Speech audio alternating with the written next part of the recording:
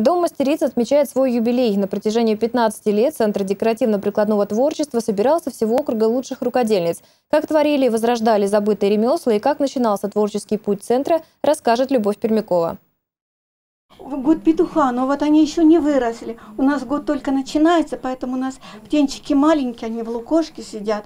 Татьяна Пензенцева, руководитель женского клуба «Душечка», показывает одну из последних своих работ – очаровательных птенцов в корзинке. Как шутя говорит женщина, когда-то несколько окружных любительниц, совсем неопытных, как птенцы, пришли в Центр декоративно-прикладного творчества, который стал не только местом рукоделия, но и вторым домом. Почему мы сюда ходим? Можно этим заниматься дома? Да, если небольшие вещи, этим можно заниматься дома. Но мы здесь каждый раз учимся. У нас здесь содружество и сотворчество. Мы постоянно подпитываемся один от другого идеями. Потому что здесь такая атмосфера, здесь тебе всегда рады, здесь тебя научат, здесь тебя поймут, подскажут. И здесь нам всем душевно хорошо.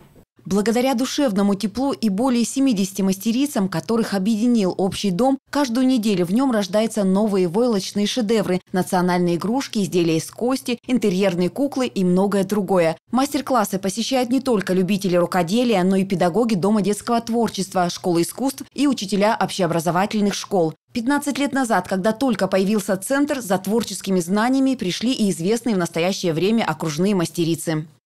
Мое знакомство с этим домом состоялось э, тогда, когда я еще работала учителем первой школы, э, учителем технологий.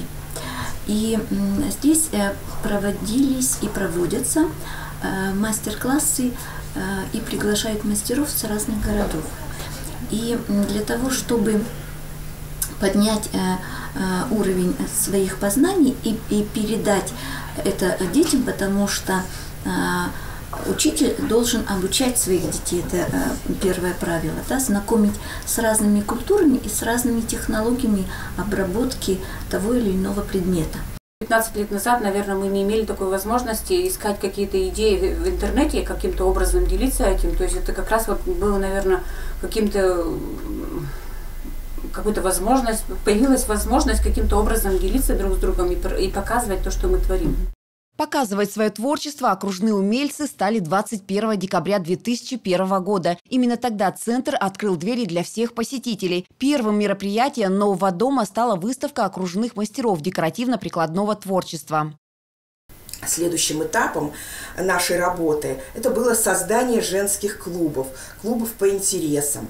В 2007 году мы написали э, проект «Сохраним наследие», благодаря которому на базе нашего учреждения прошло более 70 мастер-классов по разным направлениям прикладного творчества. Этот проект работает и сегодня. За 15-летнюю деятельность Домик творчества, так привыкли называть его рукодельницы, неоднократно менял свое название. С 2015 года он стал отделом декоративно-прикладного творчества этнокультурного центра. Такой тандем, по словам Марины Маргось, позволил расширить границы народного искусства. Проводятся совместные мастер-классы, реализуются общие проекты и появляются новые мероприятия. Но главное остается неизменным. В этом доме всегда тепло и уютно, и для каждого здесь найдется занятие по душе.